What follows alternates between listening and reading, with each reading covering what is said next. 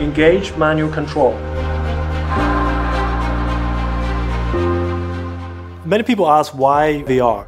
I think it's important to realize that robotics is in a world of 3D and the common interface we normally use on a screen is 2D, it's a flat screen, it's missing a lot of information and it's making it very difficult for people to operate robots.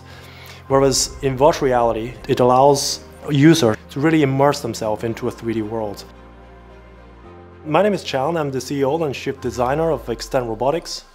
I started the company in 2019 and brought together a strong technical team with expert experience in robotics, AI, immersive technology and cloud computing. We're a startup based in the UK and we have developed the most intuitive human-robot interface software with extended reality technology to enable robotics and non-robotic experts to intuitively monitor, manage and train robots remotely from anywhere in the world using accessible off-the-shelf hardware and standard network connection. Cool, very, very cool. For me, that was one of the best demos I have seen. That was a good feel to understand what is the cutting edge of interacting with the robotic arm, the physical world. Fantastic experience, I really liked it. The goal is really to make robot easier for people to use because uh, we really found during our research that it is very hard to use robots. Um, you, you, have to get trained, you have to even get a PhD to, to play with it. At Extend Robotics, we develop real-world innovations to empower people and boost their productivity. Today's world is facing a tremendous labor challenge. However, the majority of our world productivity still require people working physically in real worlds and sometimes in harsh environment. Introducing our solution can enable people to operate robots in hazardous conditions.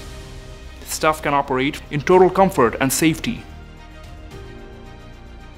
Extend Robotics is leading the fourth industrial revolution, addressing a range of challenges to deploy robots and AI into real-world applications, which typically require multi-purpose system working reliably on highly variable tasks in dynamic and unpredictable environments.